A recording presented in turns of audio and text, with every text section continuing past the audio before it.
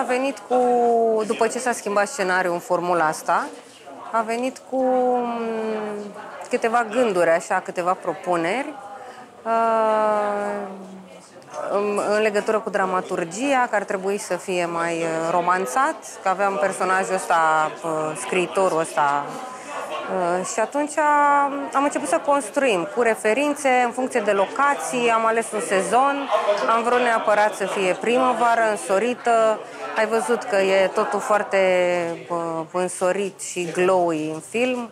Uh, e personajul Sânzianei, care era special și trebuia tot timpul urmărit de o aură din asta ușor solară, așa, de zână. Și um, din aproape în aproape. L-am, da, în principiu, adică am avut niște influențe, evident, filmele lui Woody Allen, unele dintre ele, un musical în mod special.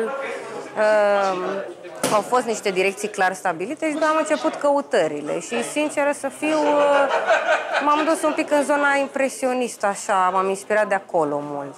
Locațiile au fost alese mm, special, uh, Um, um, și mai mult decât atât am lucrat cu palete de culori, adică aveam un paletar din ăla de vopseluri pentru interioare și stabileam împreună cu Mălina, cu scenografa, fiecare personaj um, ce culori uh, îl înconjoară, ce texturi, de ce fel de texturi e înconjurat, alternanța de texturi, adică toate au fost destul de pregătite. La locațiile unde nu aveam acces, foarte ușor cu, cu, cu, cu lumină.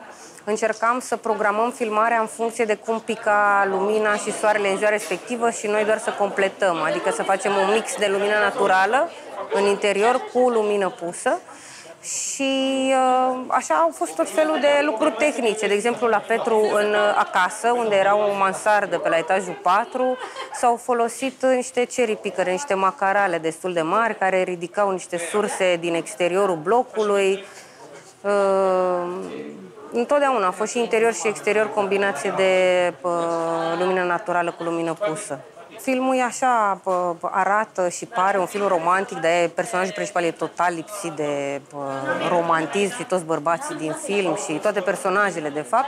Și cumva am încercat prin imagine să, tocmai să creăm o imagine romantică unor personaje care le lipsește aspectul ăsta din viață. Ce simt că am dobândit la două lozuri și am adus și în proiectul ăsta un fel de uh, imagine veselă, care mie nu mi-e proprie, adică eu prefer uh, uh, alt tip de, adică nu știu, pe sufletul meu e alt tip de imagine, mult mai monocromă, uh, în alt stil, uh, mai dramatică poate. Și atunci la două lozuri, pentru că ăsta era datul, domnule, trebuie să fie comedie, deci trebuie să fie vesel și colorat, o parte de acolo am preluat, dar sigur aici am mult, într-un control mult mai mare.